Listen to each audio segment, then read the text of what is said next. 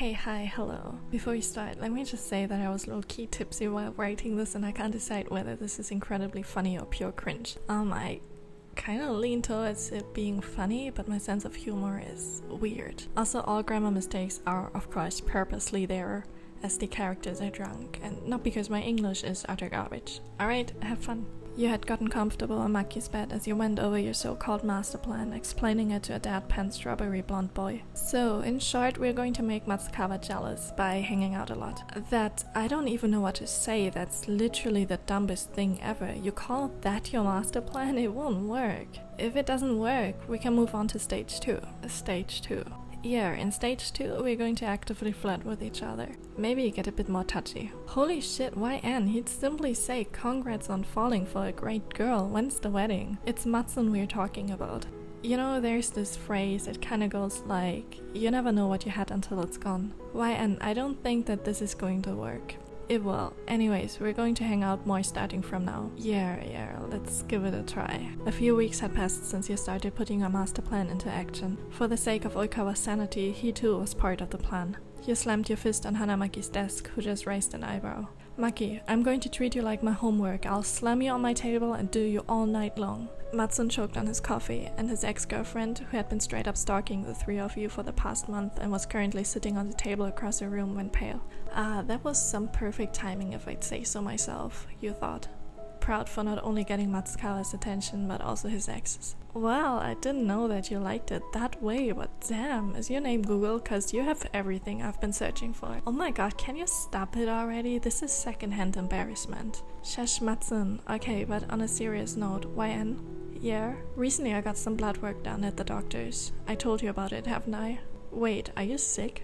I just got the results earlier. Sorry, I must have forgotten. Um, are you okay? Yeah, but the doctor said I'm suffering from a lack of vitamin U. You snorted. Matsun rolled his eyes. Stalker cringed. Well, then let's hug so that you can get your vitamins in. You opened your arms widely, but before Maki could react, Oikawa had already jumped into your arms. Well, well, well, if this isn't YN-chan. Stop bothering her, Shittykawa. Now, now, don't be so jealous, Iwa-chan. Iwaizumi just groaned as he sat on a chair, slamming his face onto Maki's desk a moment later. I hate everything and everyone today, and I can't decide if I want to punch someone in the face or if I want to be punched. Slap me, daddy.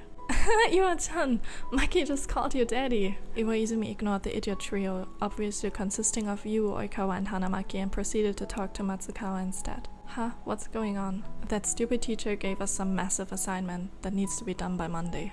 Fighting Iwaizumi-san. Why are you calling me by my last name? You're my cousin. Oh hey, Oikawa, you know what? No, what's it? I found a new gym. What are you talking about? It's called my bed. Oh, fancy. Could I get a trial before signing up? Maybe tonight? Oh wow, that's like personal training. I sincerely regret the day you have transferred schools. You could have picked every other school and yet you chose to annoy us instead. What can I say, your everyday has been blessed ever since I came to Seijo. No, it's more like my nightmare has become true. Yeah, you spend too much time with Maki. And the two of you are losing brain cells at a dangerous rate, or maybe I'm losing brain cells at this point, I can't even tell anymore. I mean, you didn't have that many brain cells to begin with, Iwa-chan. Iwaizumi threw a book at Oikawa. Hey, that's dangerous. Right, they're sending these dumb memes all day, every day. At least they stopped spamming the group chat with it. Yeah, now they have their own little group chat, and I'm worried for their sanity if it's just the three of them. Oh, is this the smell of jealousy lingering in the air? No, I'm simply concerned. Actually, I just farted. Oh my god, Maki, ew! You tried to kick Hanamaki, but he grabbed onto Matsun's shirt, pulling him close to shield himself from your foot and you inevitably ended up kicking Matsukawa instead. Hey, seriously? Suck it up, at least you protected your precious boyfriend. Shut up. You smiled when you noticed the way he looked at Maki, whose hand was still placed on Matsukawa's waist. This was going so much smoother than anticipated. You think school's been more fun ever since YN-chan transferred? She's bad for your ego. You're bad for my ego. Compliment me more, jeez. Where would I? Don't you already get enough attention from your fangirls? That's just not the same, Iwa-chan. It sorta is. Oikawa pouted. Kya, Oikawa-san, you hottie. Oikawa huffed and buried his face in your neck. Oh hey guys, my parents are gone for the weekend. Wanna stay over tonight? Actually, my friend got me some drinks and you know, we could have a fun time together. Yeah, sure. I mean, yeah, why not?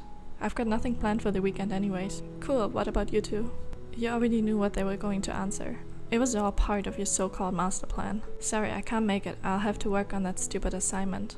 I don't have time either. It's my mom's birthday today, so I'll be stuck in the restaurant till probably 10 or 11 pm. Ah, that sucks. Maybe next time. The school bell rang. Well, time to get back to my classroom. See you two later? Just text me once you're done with practice. Alright, bye. Bye. You freed yourself from Oikawa's arms and made your way back to your classroom. Hey, you, wait. Huh? You turned around to find yourself looking right at Matsun's ex girlfriend. Ah, you're IR8? What's up? Don't what's up me. Can you stay the fuck away from my boyfriend? You're. You paused dramatically. You're what? My boyfriend, Matsukawa Issei. Stay away from him. Oh, Matsukawa san. Isn't he gay though? I mean, he's dating Hanamaki san and all. He's not gay, he's just making things up to. to? to. Anyway, that's none of your business. Stay away from him. Uh, don't worry, I'm not interested in him at all. Yeah, sure, then how come you're always hanging out with him? Because we're friends? Girls can't be friends with boys. Another dramatic sigh escaped your lips. Hey, you know, let me tell you something. It's my little secret. You took a step forward and were now close enough to whisper something into Aya's ear.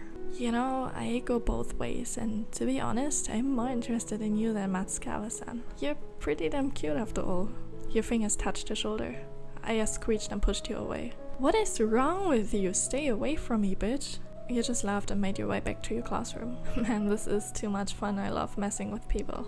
Later that day at your house, the three of you had been drinking for a while and were pretty tipsy at this point. This clearly was part of your master plan. Alright, it's time to do this now. When? Are you sure we should? Yes, Bae, I am sure. We have already moved past phase 2 of my master plan and things are kinda stuck at this point. What if I fuck up and he ends up hating me and then I'll be too damaged to ever find love again? Have some confidence, Bae. Maki, it's you and I against the world. It's our time to shine.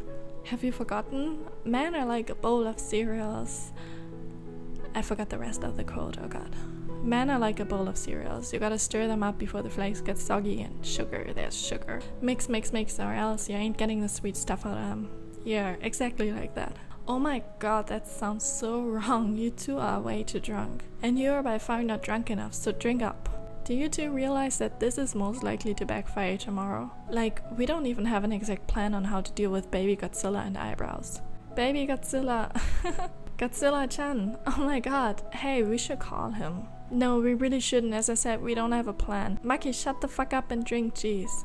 You handed him another can and Maki chucked it down in defeat. Hey Godzilla chan, ex fucking excuse me. you really called him that. What should I say? Tell him you were thinking of him.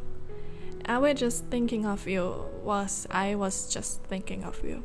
Yeah, I can tell. Why do you sound so weird? Why are Wayan and Maki giggling in the background like idiots? Anyways, I just called because. Because. Hey, Wayan, what should I answer? What did we call? Oh, dang, that was part of the plan, but I kinda forgot the plan. Say you missed him or something. Iwa-chan, I missed you. What the hell? Are you a parrot? Why are you just repeating after what they say? The sound of a bottle opening was heard. Ah, you're drunk. How much did you have? An offended gasp escaped Oikawa's lips. The audacity! Drunk? Me? Ridiculous! What about practice tomorrow? There's no practice tomorrow. Monday's a rest day, so yes, there's practice tomorrow. Technically speaking, it's almost midnight, which means it's almost Sunday. How about we just practice now? What? Late night spikes, yes! Yay! Oh my god, are you all serious? We get in trouble if we practice at this time. And you'll all probably puke on the gym's floor if you run around and hit balls. You're not listening, are you? Alright, time to get sweaty. Wait, which gym are we talking about? The school's gym or. My bed? Shut the fuck up, Wayan. School now, your bed later? Oh my god, I'm so done with all of you. Okay, let's get changed then. I don't have gym clothes with me. Just go in your PJs. Alrighty, let's go, let's go! Yay! You're not seriously going, are you? The school's gate is closed. Hello? Iwaizumi stared at his phone, now realizing that Oikawa had ended the call a while ago. Those fuckers. This is probably just a prank, and they won't actually play volleyball in the state they're in right now. Iwaizumi groaned as he changed out of his pajamas. They're idiots. They will most likely actually flipping do it. Iwaizumi made his way downstairs. He tried balancing his phone with his shoulder, ringing Matsukawa while putting on his shoes simultaneously. What's up? I'm so done with the BS. How drunk are they? The idiot trio is trying to invade the gym at school. The gym, for what? They want to practice now so that they don't have to join practice in the afternoon and can sober up instead. Ah, yeah, sounds like something they'd come up with. I assume you're about to pick up Kawa and want me to take care of Maki. Exactly. Matsukawa sighed. Fine, let's meet at the 7 Eleven in five minutes. Yeah, see you later. See you. Kindaichi, did the idiot trio call you or are you an innocent bystander who got dragged into this mess by Matsukawa? I was on a run because I couldn't sleep when I bumped into Matsukawa-san and thought it would be fun to see what those three are up to. Matsun just nodded. Presumably he's got Maki on the phone right now. Yeah, I think so. What exactly is going on though? The idiot trio drank too much and is now invading school. Wait, that how did they even get the drinks? I don't know, I don't care, I'm too tired for this. Let's just go get them and put them into their beds so they can sober the fuck up. Matsun, my man, thank you for picking me up, or should I say Matsun, my mom? Matsukawa raised his eyebrow and looked at you. How much did he drink? I don't know, man, just a heads up, but his alcohol tolerance is pretty shit. You'd think a guy tall as him could take more than like one and a half can of Calpis Chillhighs. Bitch, it was a lot more than that, and you shouldn't be talking like that when you're just as drunk. I, at least, can still walk a straight line, my dude. So can I. Maki, you walked into a lamppost earlier. To my defense, I do that regularly even when not drunk. Lies! I hate to defend him here, but he really does run into lampposts rather frequently. what an idiot. Shut up, Wan. Alright, I think it's time we all go home and get some sleep in.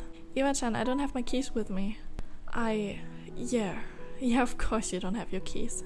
My keys at Wyan's. Okay, how about we do this? Kawa sleeps over at my place, and you take Maki in for tonight.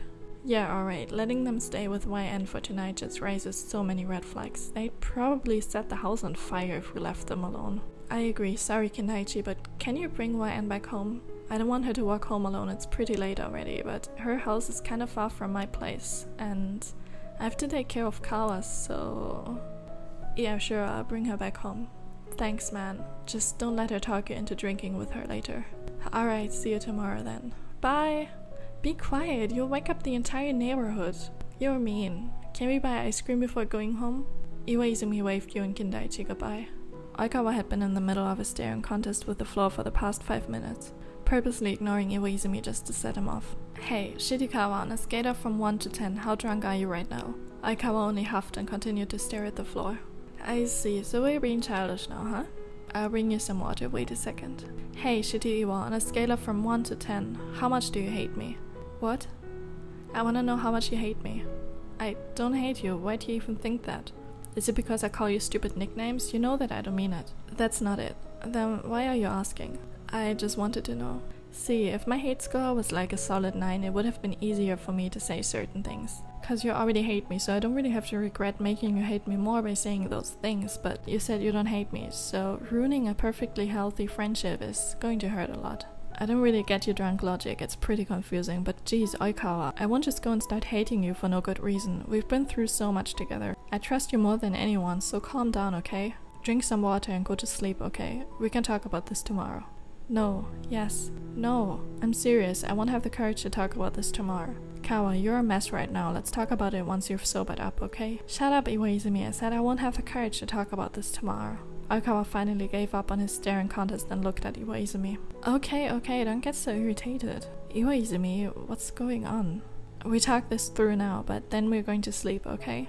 Okay. Iwaizumi sat next to his friend who stayed silent for a few more moments before groaning in frustration. What's wrong now? You know what, I don't think I have the courage to say it today either. Oikawa, you're making this a lot more complicated than it actually has to be. Might as well just show you without words then. What are you mumbling for? I can't hear you if you don't talk louder. Oikawa leaned forward to kiss Iwaizumi's lips. It took him a few moments to understand what was happening, and by the time his brain comprehended, Oikawa had already pulled back. I'm waiting, Iwaizumi. Iwaizumi blinked, visibly confused. For what? For you to smack me, yell at me, tell me what a worthless loser I am, I don't know. Iwaizumi raised his left hand, smacking Oikawa against the head. Iwaizumi, what the hell? I don't ever want to hear you call me by my last name again, Toru. Eh? It's Hajime. Huh? What? You want me to spell it for you? H A J. I know how to spell your name, Iwa-chan, but still, what? Hajime. Why are you forcing me to call you by your first name all of a sudden? Because you don't call your boyfriend by his last name. And why are you yelling boyfriend? Did you just say boyfriend? Yeah, I mean, you kissed me, so I assume you like me, and I like you too. So that basically makes you my boyfriend, right? I. Are you serious? 100% serious. Iwa-chan, Hajime, let's go to bed now, okay? I really think you should rest a bit. Can we cuddle before we sleep? Because I always wanted to cuddle with you. Um, yeah, sure. Great, well, let me just quickly do that. Do what? Oikawa pulled his phone out of his pocket and began to type. Iwaizumi leaned over his shoulder, curious of what Oikawa was typing. Dear Diary, today Iwaizumi and I finally started going out. Dear Diary? Wow, that. Iwa-chan, don't read that. Oh my god, it's Hajime. How many times do I have to repeat myself? Matsukawa Issei. Yes? Is it is it fate that brought us together today? No, it's your drunk ass that called me. I knew it. There is, after all, no escape from destiny. Alright, time to get you undrunk. Maki gasped. But at what cost? Maki, you close your eyes, let your body do its magic, and when you wake up, boom, you're sober, it's completely free. How boring. Hey, do you think I could climb that tree? What tree? Oh my god, Maki, get down there. I I don't know how Matsun, help. The tree isn't even that tall, just jump down. I mean you managed to climb up in a second, so you'll be fine. Well, if taking his drunkenness into consideration, maybe he'll not be fine. Okay, take my hand. No, Maki, I'm not asking you to marry me. I'm asking you to take my hand so you won't fucking stumble over your own feet and break your nose or some shit while attempting to get back down. No, I'm just trying to save your pretty face here. Hanamaki stared at his best friend before jumping from the tree. But, of course, just like Matsukawa had already anticipated, Maki lost his balance. Matsun leaped forward, trying to grab onto his friend's arm, but it was too late and the two friends dropped onto the ground. Ouch man, that hurt. Are you okay? Yeah. Then get off of me. Hey, that's really rude considering I'm your boyfriend. We're fake dating, Maki. Oh my god, we're fake dating, Maki. This is so flipping annoying. Do you actually realize how much it hurts me to hear this shit over and over again? Maki, what are you talking about? What I'm talking about Bitch, I put up with this fake dating shit because I want to be close to you, because I know you won't ever love me more than a friend. Despite hurting so much, I keep trying to protect you from that stalker girl. Just how clueless are you? Do you really think I wanted to kiss you back then? I mean, yeah, I thought I wanted to, but did you really have to wipe my kiss and say, ew, I need to brush my teeth? Sometimes I just want to punch you in the face, seriously.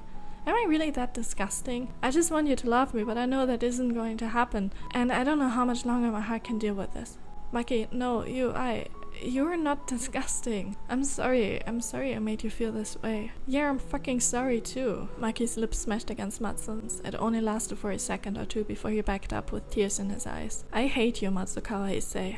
Hanamaki finally got off his friend, but Matsun pulled him back into the ground before he had the chance to get back onto his feet. I love you. Yeah, screw you. Look, Maki, I'm serious. I know we weren't dating for real, but do you really think that I would have fake dated anyone but you? I just agreed because this way at least I could pretend to be your boyfriend. I can't tell if you're being serious now or not. It's too much for my drunk brain to comprehend. Matsun laughed before he leaned into a kiss. He nearly missed and his nose bumped against Maki's. Hey, what's going on here? The next day, at Seijo's group chat. And this is how we ended up at the police station at 2 am. Oh my god.